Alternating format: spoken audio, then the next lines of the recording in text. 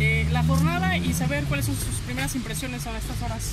Bueno, eh, pues tranquilo, como ustedes vieron, no había mucha fila, entonces pues estamos tranquilos, ya lo que en campaña se hizo, lo que se externó, lo que se planteó como propuestas, pues ya, ya está, ya está en, manos de la ciudadanía el, que decide el día de hoy con su voto.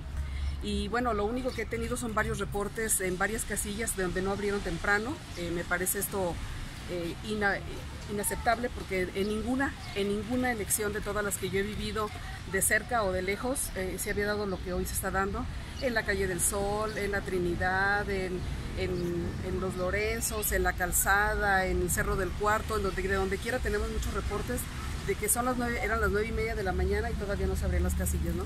Y bueno, pues esto es muy lamentable, habría que ver qué fue lo que sucedió, pero, pero bueno, esperemos que todo lo demás eh, ¿Tiene sea confianza en las instituciones de que el, el resultado es realmente Será fidedigno? Bueno, de- desde luego que eh, aparte de confiar en las en instituciones, también confiamos en, en nosotros, en, en la estructura que tenemos, en, eh, cuidando las casillas y bueno, definitivamente pues esto es, esto es algo que, que tiene que correr como tal.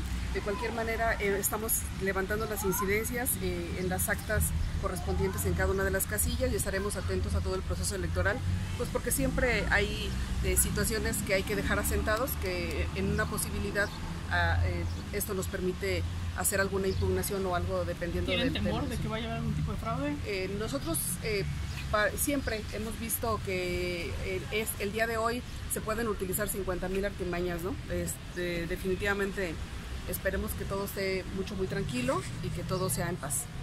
¿Qué va a hacer el resto del día? ¿Vas a juntar con su equipo? ¿Cuál es la temática? Voy a hacer actividades personales eh, con, con mi hijo y, y posteriormente